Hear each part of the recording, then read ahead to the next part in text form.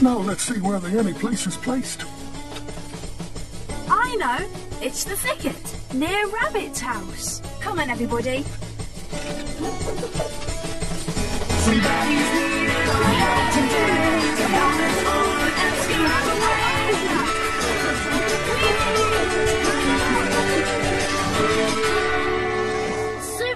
Super I knew you'd come. See? Holly's horns are caught in those branches. Oh, wow. Holly's a reindeer. Never fear, Renity dear. The super sleuths, that's us, are here. Go. Pleased to meet you, Holly. I'm Darby. These are. I know, the Super Sleuths. Well, sounds like our reputation exceeds us. Yep. Come everybody. Grab a hold of these branches. But we already tried that. It didn't work. We pulled and pulled as hard as we could. Hmm. Think, Think, think. Now's the time to think, think, think. When you have a problem, think, think, think. Look at every clue like the super sleuth still and just think. Think.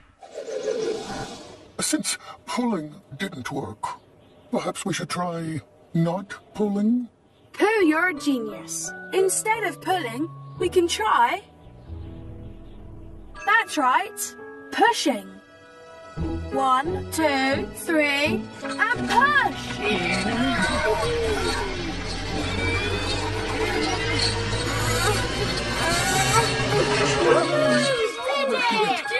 Wonderful. Thank you, Super Sleuths. It was getting a little chilly under there. We'd better get you inside so you can warm up. Yes, and make some hot tea to warm up your insides.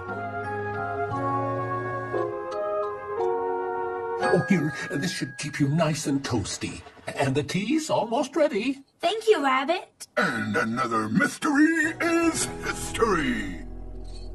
Ooh, carrots, yum. Oh, sorry, Holly, but actually, I was saving those for Santa's reindeer, you see. But I am one Santa's reindeer. What? Uh, don't actually do that part yet. You see, Santa took his sleigh on a practice run this afternoon, and when he got back, he realized he dropped his magic toy sack somewhere.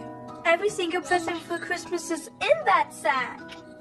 I figured if I found the sack first, I could prove that I was ready to join Santa's sleigh team. Only I never actually found Santa's sack. So this mystery is unhistoried? Well, we found a big sack today in the snow, but it was empty. Yeah, we left it back by those trees. Hold on, we'll go get it.